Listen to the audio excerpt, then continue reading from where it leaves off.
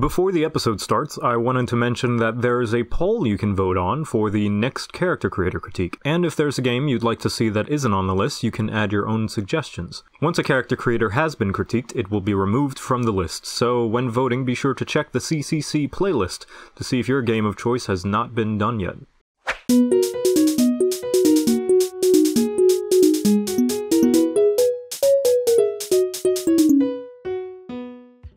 I am playing the PC version of Dragon's Dogma Dark Arisen, but from what I can tell, the character creator is identical to the vanilla version of the game. Uh, one thing that I think I should point out is that before the character creator, there is a tutorial level that you have to play through before you reach it, and that every time you want to make a new character from a new save, you have to play through the tutorial.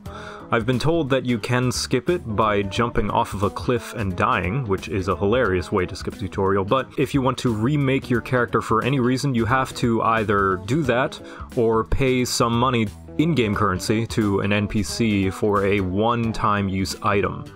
You can change your character as much as you'd like once you beat the game and reach New Game Plus, but sometimes I don't personally want to have to wait that long. I don't want to have to beat the game before I can customize my character. Just wanted to bring that up in case you're like me and have to go through several iterations of your character before it's perfect. Now, as usual, you can be either male or female, and when you name your character, you actually have two names. One name that would work like anything else as it appears on your character page, on your saves, whatever. The second name is for is from a list of names that the game has provided you. And this is for anyone who has parental controls enabled in case they don't want to see anything naughty online. You do have a bunch of presets uh, for bodies and faces, and a set of voices as well, a bunch of them. They actually vary quite a bit in uh, their tone.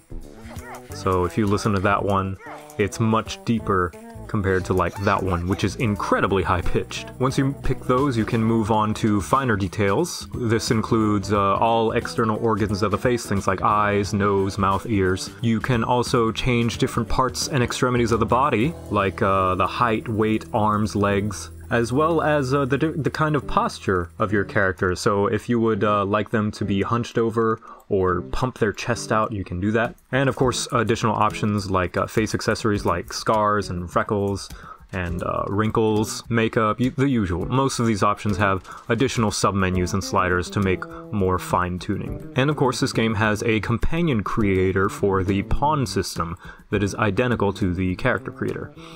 So, what's bad about it? The most immediate flaw in this character creator is the quality of the character and their assets on a technical level. Now, I said on a technical level, this is not talking about aesthetics of the game or uh, the art design. The character does not look very good. You can see there that the hair quality is ooh, very, very rough. The texture resolution on the skin, the clothes, and the hair are ugly. I can practically count how many pixels are there. Look, look at that. Ugh. Even the shadows have some kind of weird coloring to them. And also some minor things with the menu. We still have the Insta Preview problem with hovering over the selection will instantly preview it on the character, making comparisons difficult.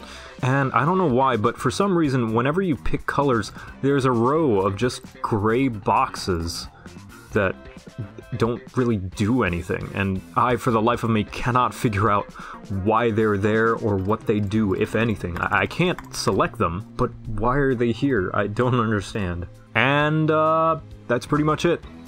that's pretty much all I have bad to say about this character creator. So what does it do good?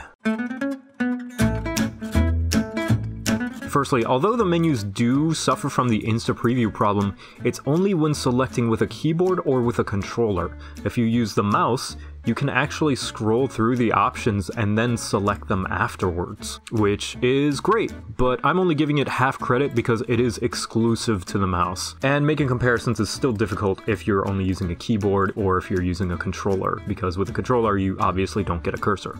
It is nice though and makes comparisons much easier when you have a mouse. Secondly, you can change the character's body to a ludicrous degree. You can change not only their weight, but their height as well And it's not just by a few centimeters either. I mean, like, seriously, look, the tallest option is nearly twice the height of the shortest option. And guess what? If you don't think your character's big enough, the individual body parts options give you even more to work with. Sure, this may be the maximum I can go on the weight slider, but if I go to the torso, I can make the shoulders even wider. Or if I go to the legs, I can change how tall the torso is or how big the legs are.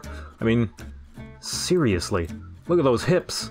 They don't lie. I mean, they're so truthful, I'm afraid they're about to spill government secrets. And the stance option is just the frosting on this already delicious body cake. This is one of the best body options in video games I've ever had the pleasure to play with. You just have so much customization in just how specific you want to get with how your character looks. Look, I can give them legitimate pear-shaped body. Look at that. That's more than so many games give you. Third, there are so many options. The amount of choices you have for most parts of the face is just ridiculous. You have a range of about 30 to 40 choices to pick from for most of the face. There's pretty much everything you could think of. You even get ethnic hairstyles like dreadlocks, which is always cool. Take that, Monster Hunter.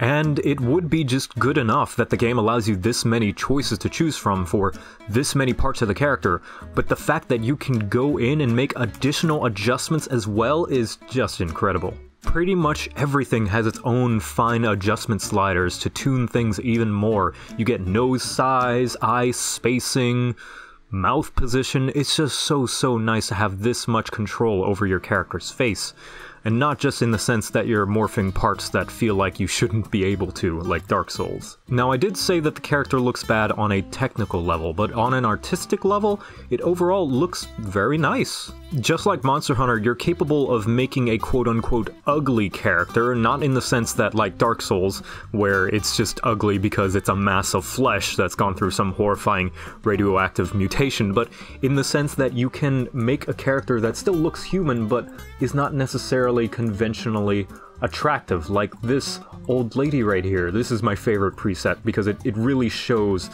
just how capable this character creator is. And finally, the pawn system means you get to create a companion character, so gold star there, but the best thing is that this right here is the pawn creator that you've been looking at. It's identical to the player character creator, so if you want to make a twin, as long as you remember to write down the options that you picked for your character, you can make a doppelganger as your pawn. You can make your friends and family as your pawn. This means you get to have your own personal character cake and eat it too, in the sense that you have a second character to work with. Conclusion pretty much every face and body option you can imagine is here. The quality of the model is not one of the most impressive out there, but the character creator itself most definitely is. This has been Character Creator Critique. Be sure to vote for which creator you'd like to see next, and I'll see you then.